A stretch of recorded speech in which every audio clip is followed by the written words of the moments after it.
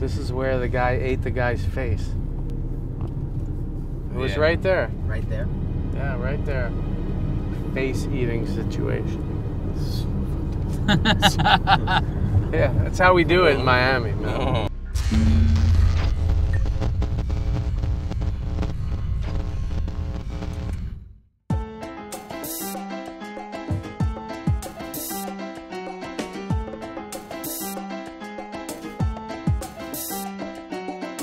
My name is Michael Schwartz. I'm the chef and owner of the Genuine Hospitality Group.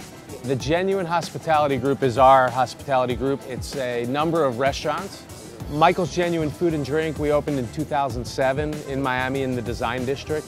Really spearheading, I think, in Miami, the, the local, you know, farm to table movement. Really carefully sourced product, very simply prepared, wood burning oven, great bar, great energy, and it's our flagship neighborhood restaurant. And then restaurant Michael Schwartz at the Raleigh. Similar in spirit, I think, but just the best, the best vibe on- South Beach. So the menu changes every day. A lot of it rotates, and it's really based on what's coming out of the ground, the inspiration from the product that comes from the farm. So we have a forager on staff, and his job is to several times a week go down to the farms, pick the best product, and bring it back. Look at that. Super fresh. See how tight this is? This is an eggplant. It's like you never see stuff like this at a store. The dining scene when I moved here was very much about uh, glitz and flash and trend, and it was really that sort of nightclubby vibe. And that's still pretty prevalent in Miami, although I think over the years, the farm movement really started to take hold, small farms started popping up. And that's really what we do, is focus on small farmers and the best product that we can get our hands on. This is beautiful okra. Simplicity is the, uh, is the key word here. The okra's so good. So last night was a great opportunity for me to hang out with people because usually we're just all working. So Eric Larkee is our wine director for the Genuine Hospitality Group. Great wit and sense of humor and very knowledgeable, obviously, on wine. And Elad, who is the owner of the Broken Shaker, our favorite cocktail bar in Miami, and always a lot of fun, interesting, colorful character. I'm going to hell. But I'll be the fucking bartender in hell. and like finger Swedish girls. Two chain. Where? Look at that two chain. That's a broken Where did shaker you money. I take my wife to Burger King. to Burger King. Yeah, dude. After 12 years, you don't have to impress your wife. Burger King. We started at Michael's Genuine, and uh, it was Elad's great inspiration. He loves tequila and mezcal.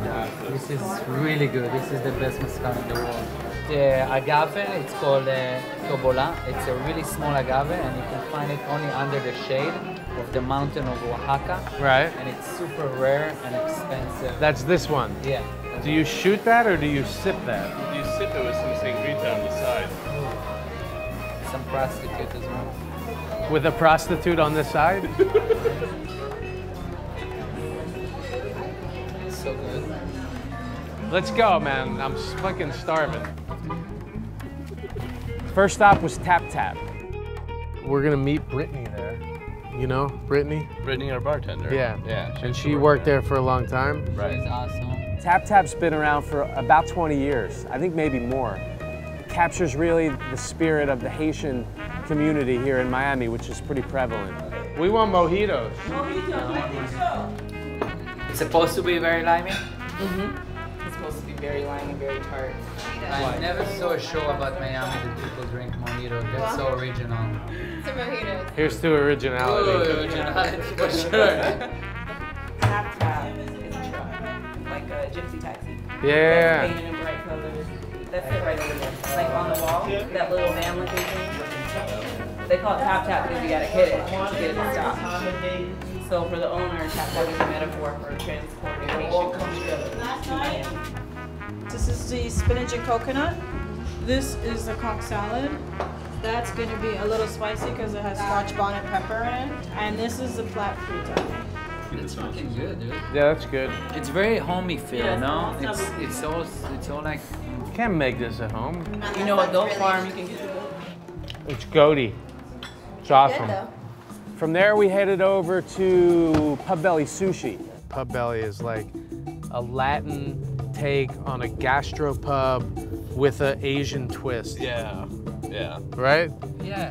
That's fucked up. Pubbelly Sushi is a great example of Miami in that it's very diverse and lots of things going on, lots of different influences. What I like about this place, good quality ingredients, a little adventurous, right? They try like, there's that whole Latin Asian mix, but 95% great results.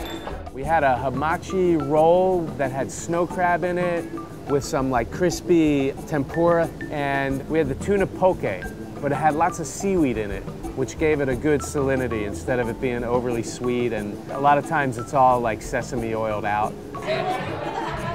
Hamachi kama, right? Yeah. Our Haitian porters and dishwashers in the kitchen will fight over the over the heads and the collars. Yeah, they do. Yeah. Right here. Right here. Yeah, yeah. So the hamachi is the fish and the collar is the collar. So it's that part that's right up by the head. It's very common in sushi bars. They usually broil it or grill it. It's usually with some sweet like glaze, which they didn't do. It was served with a ponzu sauce. Oh my god, oh my god. What's that? Oh. It was like the biggest hamachi collar I ever saw. It was like the whole fish. Oh my god, it's really good. Fucking good, dude. Where's your sake, people? Chef, that's your water. Oh! Where's the fucking car, dude? I want the car right now. I want limousine. I want two prostitutes. I want a fucking bottle of champagne. I want something, dude. Let's do it.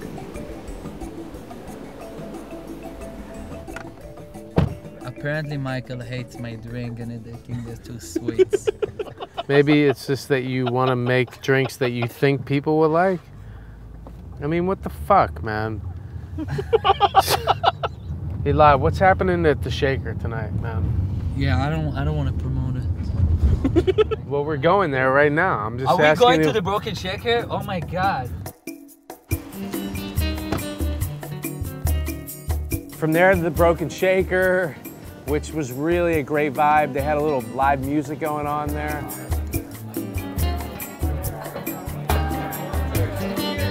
We went and picked some herbs, which was really great. He's got his little herb garden. Come, we're gonna pick up some grapefruit for the garnish. Come, Grapefruit. grapefruit. I'm thinking he does not have a fucking grapefruit tree. We don't fucking play. Get out of fucking the here, Broken man. Shaker. It's Wow. gonna be. Let's do it. Went behind the bar and it was crazy busy, you know, and it's always fun to watch Elad behind the bar, man. He's like a mad scientist, a little sloppy. And he whipped up this drink with the herbs and the citrus and bourbon. It was very unlikely, but it was really, really great. And then out came this big board with this burger that he's been raving about. There were some pickles, there was chips, Homemade olives. homemade olives. Yeah, we take the olives, we cook them with cinnamon, you know, right in the middle.